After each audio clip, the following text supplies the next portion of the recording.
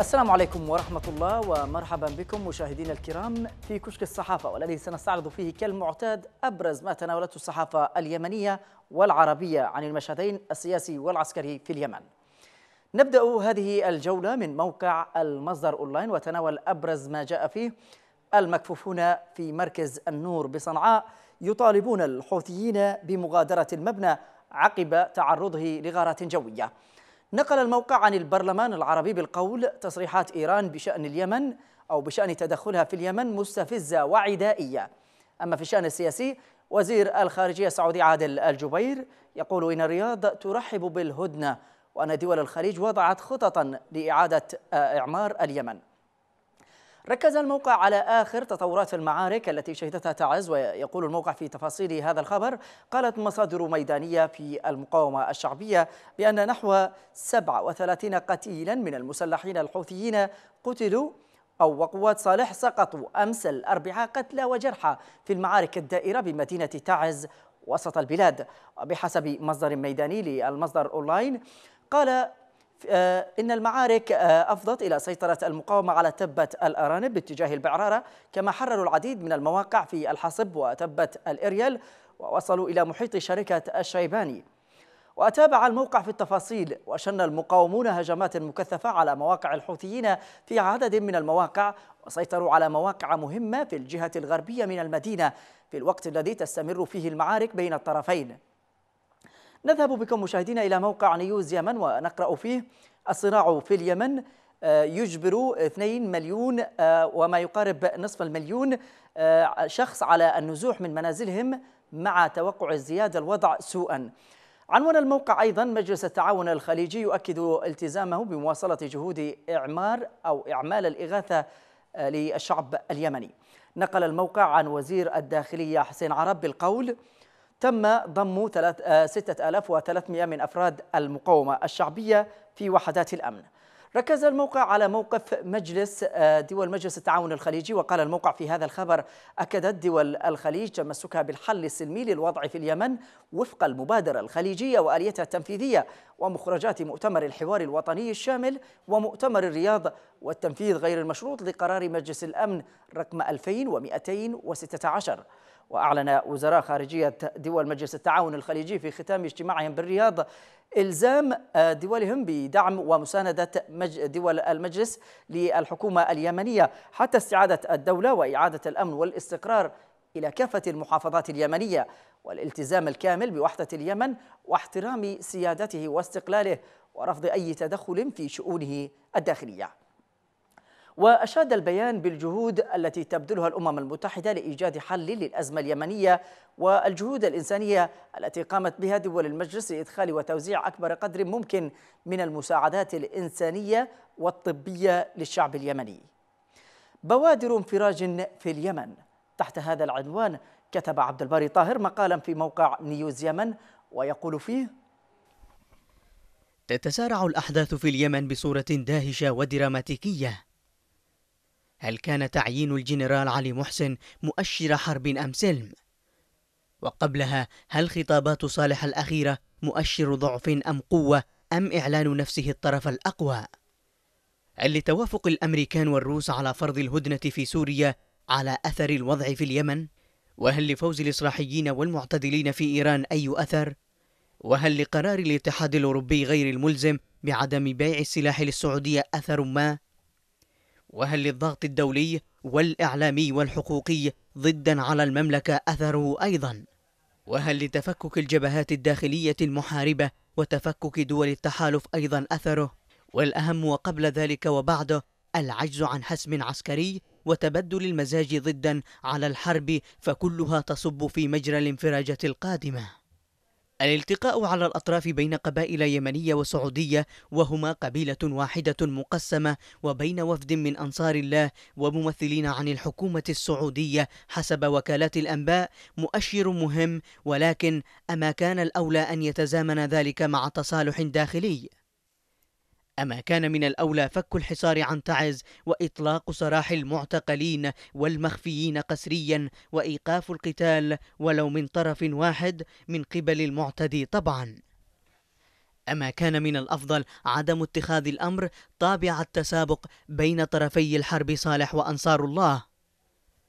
وهل شعر أنصار الله بأن تعيين الجنرال محسن هو بمثابة فتح الباب أمام مصالحة قادمة بين رمزي الحروب صالح ومحسن وهو ما يعني الولوج للبوابة السعودية؟ نتحول إلى موقع التغيير نت ونطالع في أخباره الرئيسية. القوات الحكومية تقطع خط إمداد الميليشيا جنوب تعز ومركز الملك سلمان يمول مستشفياتها ب 4500 أسطوانة أكسجين. كما عنون الموقع قيادي حوثي يهاجم إيران ويطالبها بعدم التدخل في شؤون اليمن. في عنوان آخر نائب الرئيس يوجه بسرعة التعاقد مع بعثة طبية لاستكمال علاج جرح الحرب. وإلى تفاصيل خبر تصريحات وزير الخارجية عبد الملك المخلافي خلال مؤتمر وزراء خارجية مجلس التعاون الخليجي. نقرأ في تفاصيل هذا الخبر. أكد وزير الخارجية عبد الملك المخلافي أن اليمن كانت على وشك الوصول إلى وضع مستقر سياسيا وإنهاء مرحلة هامة في طريق الاستقرار السياسي. وصياغة دستور جديد إلى أن الانقلاب المدعوم من إيران جاء ليوقف كل ذلك. وقال المخلافي في كلمة له خلال مشاركته في اجتماع الدورة المئة وثمانية وثلاثين لمجلس وزراء خارجية دول مجلس التعاون الخليجي. قال إن الموقف الخليجي في اليمن جاء ليقف مع المصلحة العربية والأمن القومي العربي ويعبر عن وحدة النسيج والمصير العربي وأضاف أن عاصفة الحزم وإعادة اليمن ضد الانقلاب الغاشم الذي ساندته إيران أتى في لحظة تاريخية في الوقت المناسب وفقا لمعايير المصلحة العربية وليس لأي معيار آخر. واخترنا من موقع الصحوة نت العديد من العناوين والأخبار منها سفير تركيا في اليمن يؤكد العمل من أجل إنهاء معاناة المدنيين في تعز. جاء في الموقع أيضا وزير حقوق الإنسان عز الدين الأصبحي يبحث مع سفير اليابان إمكانية مساعدة اليمن بمعدات طبية عاجلة. نقل الموقع عن وزير الخارجية السعودي أيضا عادل الجبير. دول الخليج ملتزمة بجهود أعمال الإغاثة للشعب اليمني. أما في الشأن الحقوقي ركز الموقع على استمرار الميليشيا باختطاف الصحفيين في محافظة دمار. ويقول هذا الخبر. تواصل ميليشيا الحوثي والمخلوع صالح في محافظة دمار. اختطاف الصحفيين عبد الله المنيفي وحسين العيسي لليوم الواحد والعشرين على التوالي دون تحديد مكان احتجازهم أو معرفة مصيرهم. وقال مصدر مقرب من الصحفي عبد الله المنيفي إن ميليشيا الحوثي والمخلوع لا تزال مستمرة في إخفاء قريب أو قريبه الصحفي عبد الله المنيفي وزميله حسين العيسي الذي اختطفتهما قبل 21 يوما موضحا بأنهم لم يتمكنوا من زيارتهم لمعرفة أوضاعهم وأحوالهم في السجن نتيجة رفض الميليشيا الكشف عن مكان احتجازهم أو السماح لهم بالتواصل معهم للإطمئنان عليهم. وحذر المصدر المقرب من الصحفي المنيفي قيادة الميليشيا الحوثية بالمحافظة من التعرض لقريبه الصحفي المنيفي وزميله العيسي بأي أذى بعد أنباء عن تعرض معتقلين في سجون الميليشيا لتعذيب جسدي ونفسي محملا إياها المسؤولية الكاملة على حياتهما أو عن أي أذى قد يطالهما خلال فترة احتجازهم لديها. ونذهب أيضا إلى موقع يمن مونيتور ونستعرض أهم ما جاء في صفحته الرئيسية تفاقم أزمة المياه في جنوبي اليمن. وفي البيضاء مقتل طفل وجرح اثنين آخرين بنيران حوثية في قيفة رداع وسط اليمن. أما في الشأن الإغاثي الإمارات ترسل طائرتي إغاثة إلى سكان جزيرة سقطرى ركز الموقع على تصريحات قائد عسكري يمني بشأن التدخلات الإيرانية. جاء في تفاصيل هذا التصريح اعتبر قائد المنطقة العسكرية الرابعة لواء الركن أحمد سيف اليافعي أن التآمرات والتدمير والحرب التي تحدث في اليمن هو نشاط إيراني من أساسه. تحاول من خلالها السيطرة على البحر الأحمر. وقال اللواء اليافعي لصحيفة المدينة السعودية إن إيران عندما شعرت أن مضيق هرمز لا قيمة له في التجارة الدولية. وهدفها الوصول إلى المحيط الواسع وبعد قيام المملكة بإنشاء خطوط نقل النفط والموانئ في البحر العربي أرادت إيران أن تصل وتتوسع إلى خليج عدن والمحيط الهندي. وأكد أيضا أن حزب الله هو الآخر يعتبر خيطا من خيوط إيران في تدخلها السافر في اليمن. نختتم جولة الصحافة اليمنية من موقع الموقع وجاء فيه مصر توافق على استضافة لقاء موسع لقيادات حزب المؤتمر سينهي هيمنة صالح. وفي عدن هدوء حذر بمحيط قصر المعاشيق بعد مواجهة مسلحة. عنون الموقع أيضا طيران التحالف يشن سلسلة غارات على مواقع في العاصمة صنعاء وشرقها. وركز الموقع على تفاصيل خرق الحوثيين للهدنة التي أعلنت مؤخرا على الحدود اليمنية السعودية. ويقول الموقع أعلن الدفاع المدني السعودي سقوط جرحى مدنيين بينهم امرأة إثر مقذوفات عسكرية سقطت من داخل الأراضي اليمنية.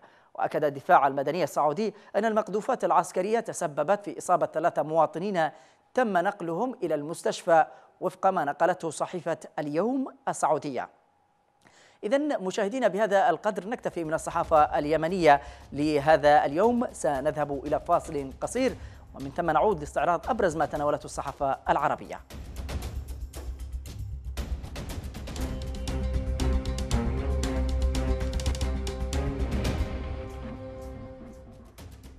عدنا مجددا مشاهدينا لنطالع ابرز ما قالته الصحافة العربية صادره اليوم والتي تواصل متابعة التطورات السياسية بشأن ما يحدث في اليمن حيث قالت صحيفة القدس في أحد عناوينها تصاعد الخلافات بين صالح والحوثيين بعد التوصل إلى هدنة أحادية عبر الحدود مع السعودية قيادي في الجماعة يطالب إيران بالكف عن استغلال الأزمة.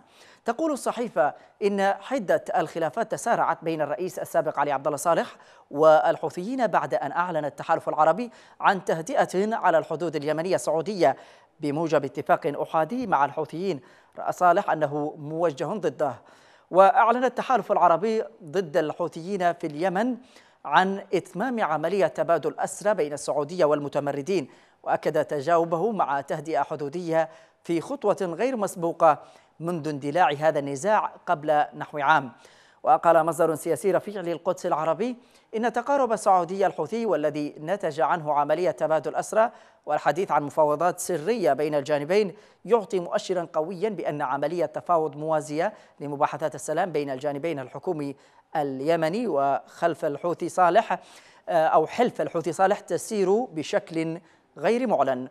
وقال مصدر دبلوماسي مطلع على مجريات التفاوض السعودية الحوثي للقدس العربي يبدو أن صالح شعر أن الحوثيين يطعنونه في الظهر ويخونونه عبر فتحهم لقناة تواصل سرية مع السعودية منذ وقت مبكر.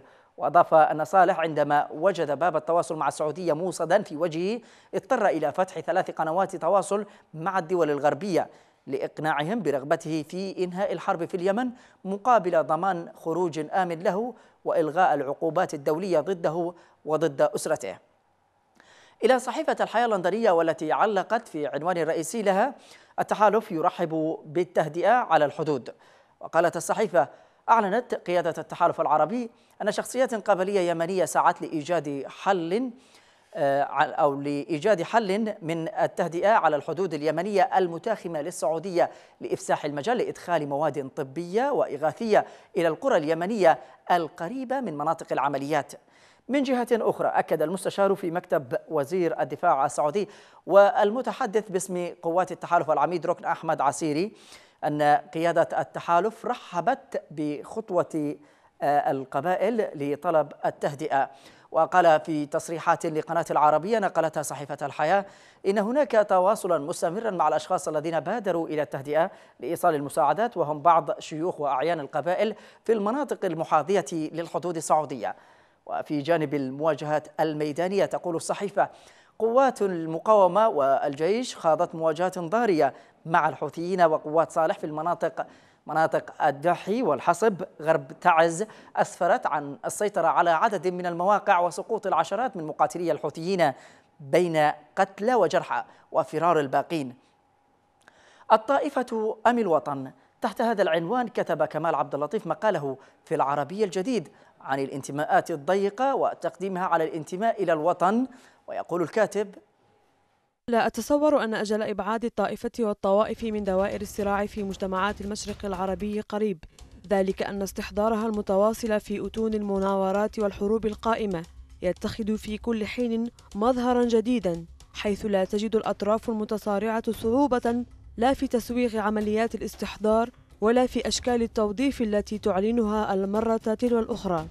كما أنها لا ترى أي حرج في جعل الطوائف وسائط وأطرافا تقوم بالحرب بالوكالة نيابة عمن يعنيهم أمرها كما تقوم بها بالتكليف المباشر. لم أقتنع يوما بمبدأ استحضار منطق الطائفة ومنحه الأسبقية على منطق الدولة والوطن على الرغم من كل الأشكال الحربائية الملونة التي تتخذها بعض الطوائف من أجل أن تمنح نفسها صفة بديل البدائل ويمنحها المنافحون لها ولنوعية استحضارها على الرغم من وعيهم تناقض مضمونها مع مبادئهم وقيمهم السياسية والتاريخية. بل كنت دائما أتصور أن المنطق الذي يؤسس لظاهرة الطائفة والطوائف وما يماثلها من ظواهر محكومة بسياقات أصبحت اليوم جزءا من تاريخ ولا من قبيل القبيلة وشجرة النسب الشيخ والمريدين المذهب والأتباع فهذه المفردات بحمولتها التاريخية. تستوعب آلية في النظر سابقة على منطق الدولة وتنظيمات المجتمع الحديث. ذلك أن الحجر الأساس في الدعوة إلى الطائفة والقبيلة والزاوية ومختلف الدوائر الاجتماعية والتعبيرات الثقافية المتصلة بها لا يمكن إدراجه ضمن آلية التعاقد الحر والإرادي. بل إن أسسه تعتمد الجدر الدموي والعقيدة المطلقة والنقية والمهدي المنتظر. وهي مبادئ ترتبط بعقائد وتصورات لم تعد قادرة على التلاؤم مع تحولات التاريخ الحديث ومكاسبه في جريانه المتواصل. إذا ننتقل إلى صحيفة البيان الإماراتية والتي ترى أن صوت السياسة أصبح مسموعا. وأضافت الصحيفة على صوت السياسة على أزيز المعارك في اليمن أمس حيث تسارعت التطورات الخاصة باليمن بصورة دراماتيكية غير مسبوقة وعلى أكثر من محور. وتفيد البيان بعد ساعات من الإعلان عن تهدئة شاملة على الحدود السعودية اليمنية إثر وساطة قبلية ومبادرة حوثية بإطلاق سراح معتقل سعودي وسماح التحالف العربي بإدخال مساعدات إلى صعدة عبر منفذ علب الحدودي. برز موقف غير مسبوق عن قيادي حوثي يدعو فيه إيران إلى السكوت والكف عن المزايدة والاستغلال في الملف اليمني. وأكدت مصادر سياسية رفيعة في اليمن للصحيفة الإماراتية أن الانقلابيين أبلغوا المبعوث الدولي الخاص باليمن موافقتهم على تنفيذ قرار مجلس الأمن الدولي وأن جولة المحادثات المقبلة ستكون قبل نهاية الشهر الجاري بالتزامن والاتفاق آه، على تهدئة الأوضاع في الشريط الحدودي بين اليمن والمملكة. وقالت هذه المصادر إن الهدوء يسود منطقة الشريط الحدودي بين اليمن والسعودية إثر وساطة قبلية قادها عدد من زعماء القبائل اليمنية لدى المملكة تم خلالها الاتفاق على التهدئة. وحسب ما ذكرته المصادر فإن التطورات الميدانية ووصول قوات الجيش الوطني والمقاومة إلى مشارف صنعاء كانت الفاعل الرئيس في جعل الانقلابيين يطلبون الوساطة مع المملكة. إلى صحيفة آه، آه، صحيفة الخليج والتي تناولت العديد من الموضوعات المتصلة بالشأن اليمني وعنونت عقيد في الجيش اليمني صالح فشل في استمالة عدد من القبائل. تقول الصحيفة أكد العقيد عبد الكريم أحمد علي الشرعي في الجيش الوطني بجبهة نهم أن قوات التحالف العربي عززت إمكانيات وقدرات الجيش الوطني التسليحية. معتبرا أن الجيش الوطني صعد من استعداداته لتحقيق الحسم العسكري والتسريع بتحرير صنعاء. أشار إلى أن كافة المشايخ والوجهات القبلية المؤثرة في محيط في مناطق محيط صنعاء أبدت استعدادها لدعم قوات الجيش الوطني في محيط صنعاء منوها إلى أن الرئيس السابق صالح فشل في استمالة عدد من القبائل في مناطق همدان وبني مطر وبني حشيش حيث رفضت العديد من القبائل استقبال ممثلين لصالح. وعلمت الخليج من مصادر موثوقة أن قيادة قوات الجيش الوطني نجحت في التوصل لاتفاق مع عدد آه، عدد كبير من الوجهات القبلية في محافظة صعدة المعقل الرئيسي للحوثيين بالوقوف مع الشرعية وتسليم المحافظة طوعيا ومنع الحوثيين من مواصلة اتخاذ بعض المواقع الحدودية المتاخمة للسعودية كمناطق لإطلاق مصادر النيران. إلى صحيفة الشرق الأوسط اهتمت بجانب معاناة اليمنيين وعلقت في أحد عناوينها اليمن معاناة واسعة الانتشار وعدد محدود من اللاجئين. تسرد صحيفة الشرق الأوسط معاناة اليمنيين من خلال معاناة فتاتين يمنيتين إحداهن في صنعاء والأخرى في عدن.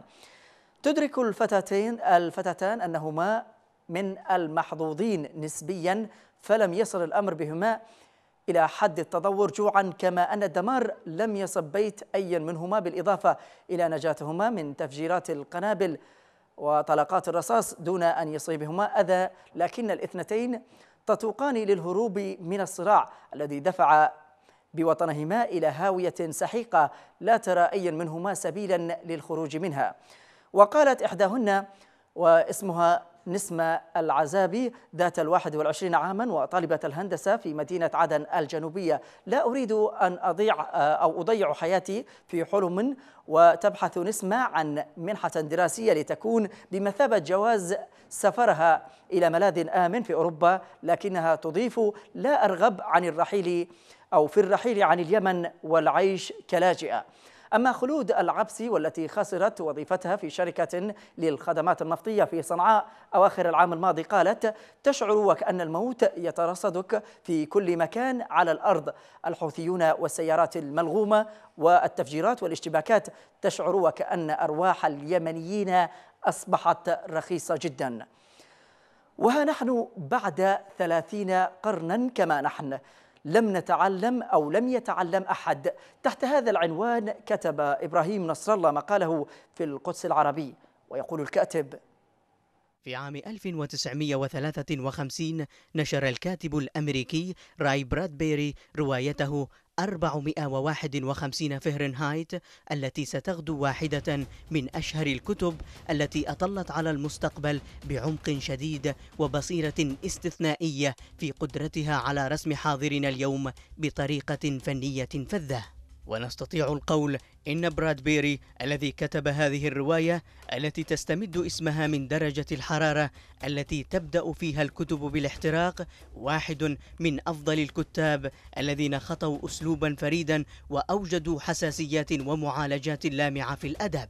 استطاعوا من خلالها سبر أغوار الإنسان وكوكبه الصغير هذا. وكذلك سبر أعالي مستقبل مصيرنا البشري الذي سنكون فيه مضطرين للرحيل إلى كواكب أخرى. لا تسعى هذه الكتابة إلى أن تكون قراءة في أعماله بل هي محاولة للإشارة إلى عدد من القضايا الكبرى التي طرحها براد بيري قبل حوالي سبعين عاماً. وباتت تشكل اليوم المظهر الأكثر تأثيراً في حياتنا المعاصرة. حتى أن المرأة يحس أحيانا أن براد بيري كان هنا في زماننا هذا. حين كتب 451 فهرنهايت التي تحولت إلى فيلم شهير أيضا قبل عقود. سياسيا يدهشك أن هذا الكاتب يتحدث في العام 1953 عن السؤال الأكثر شهرة في مسار السياسة الأمريكية. ذلك السؤال الذي طرحه ذات يوم جورج بوش ولم تزل أصداؤه تتكرر ونعني به. لماذا يكرهوننا؟ إذا مشاهدينا لم يتبقى سوى أن نشاهد سويا مجموعة من الرسوم الكاريكاتورية. وبهذا نختتم حلقتنا لهذا اليوم. إلى أن نلتقيكم في حلقة قادمة. أترككم في رعاية الله.